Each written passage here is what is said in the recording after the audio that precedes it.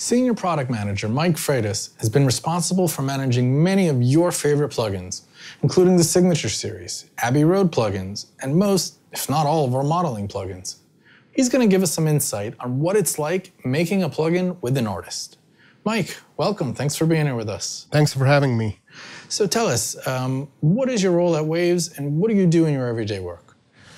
Well, for the past 13 years, I've been uh, managing a lot of Waves uh, plugins, both the project management and the product management, then taking it into the development stage and making sure that whatever we're developing at Waves makes sense to the end user. Then going on into uh, a layout design of the plugin, what kind of controls we're going to offer to the users, how they're going to look, if it's going to be a radio button, a fader, a rotation knob, what kind of meters we want to give in, in the plugin plugin. So you're really involved in, in every detail, every angle of the product. Yep. So when developing a plugin with an artist, what is their role in the process? Well, artists are involved in two uh, main projects we're doing. One is modeling and one is their artist signature. So I'll talk about the later one first. In the process of creating an artist signature plugin, the involvement of the artist is vast. First of all, uh, it's his ideas of sound. It's usually things that he's been using for 20, 30 years constantly over his mixes, and he brought his art in that specific type of processing to perfection. Usually, it can start by the artist approaching us and having a certain idea uh, that he wants to create.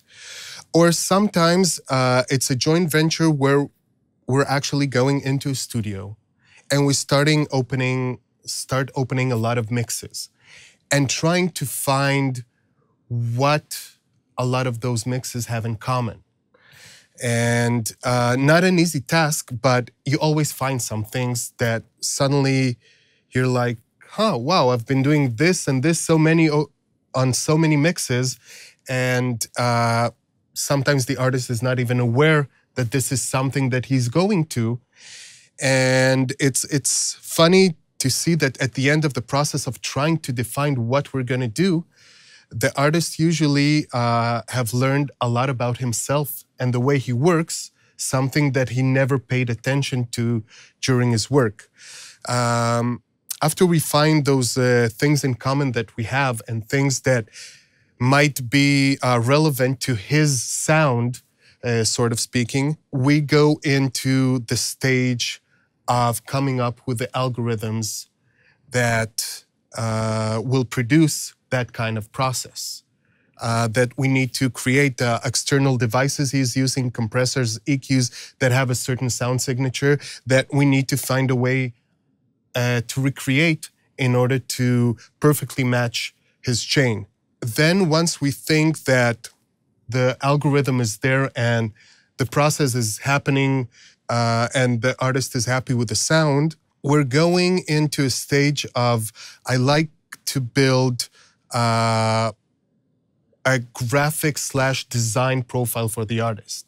So that means that I'm asking him for a huge list of uh, album covers that he likes, uh, car designers, colors, architectures, painters, uh, different artists, anything that can help me visually get into his head and into his world of uh, aesthetics that he likes. Um, then once I get all that information, we're sitting together we're, with our designer team and designers team, and we're trying to figure out how the plugin should look like. So if I understand it, it's not just that a signature series plugin has the sound of the artist. It actually that's the look that that's that's coming from him, his inspiration of what he sees uh, sort of the, the, visual representation of the sound in a way. Is that yes, uh, absolutely. Unfortunately for me, we can only deliver two senses in a plugin, visual and audible. If I could deliver all the senses, I would try to make it happen because I think that it really, really, really impacts on the whole experience. And who is the guy behind the sound? It it has a lot to do with trying uh, to bring him to the front and giving the user a small taste of the whole environment because probably, as you know, when you go into someone's studio, uh, there's a certain vibe inside the control room. Definitely. The vibe is the mixer's vibe. And this is something that we're trying to bring into the plugin because for me, it's really important that when you use the product, you get as much as the, of the content world of the artist as you would uh, by sitting with them in the studio. So yeah, it it's a huge part of it. It's very very true. I mean, even uh, I remember, for instance, with the Manny Marroquin series and those GUIs, they came out, and then one time when I was in his studio, and I was like, wow, this this is like the GUI of the plugin. It's the whole vibe. It has a there. lot. Yes, yes. really Uh, cool. in Manny's bundle, there are a lot of the designs that are actually coming from the design of the studio, the interior design of the studio, and this is something that uh, we put a lot of effort in creating. In a lot of cases, when working with artists, I had uh, they were telling me, "Listen, I've been working with the plugin a lot." It's working, it's great. That's before we have the graphic user interface. I don't really expect any changes to go on. And when they get it with the graphical user interface, suddenly they're like, that that is not uh, pronounced enough. We need to bring more high frequencies here. We need more compression.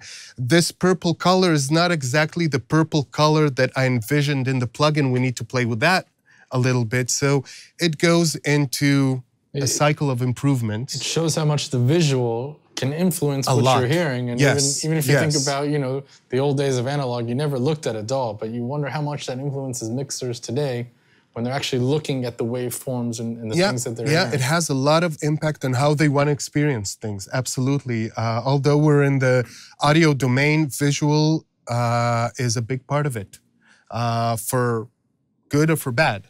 Depends what happens during the process. you started talking about signature series and we've gone through kind of what's involved in creating that from start to finish but there's two different kinds of plugins that we make with artists um, signature series and modeling plugins what's the difference between these in terms of the artist's involvement Well, um, when we're going for a modeling project, obviously we're modeling uh, a specific piece of hardware. But uh, as much as I love sound, I'm not a huge expert on every piece of hardware ever built, and I didn't experience a lot of mileage on every piece of hardware that uh, was ever built.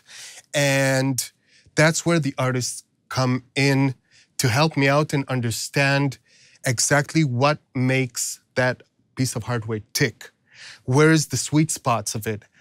How are you going to use it beside the regular uses and making sure that it will react in the same way? so, so as opposed to like a signature series it's all about the artist it's their idea it's their baby they, what they want to put out into the world but when we're talking about What they developed what, their what they developed and their method of working. Yes.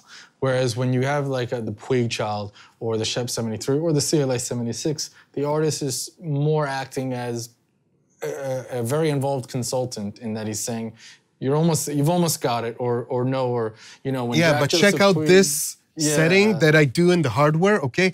Your plugin is not doing the same thing, so I have to scratch my head and go, okay, why it's not doing that, and um, and trying to improve that until we reach a place where it's like, well, I love it. It does what I expect it to do, and I think that's the key.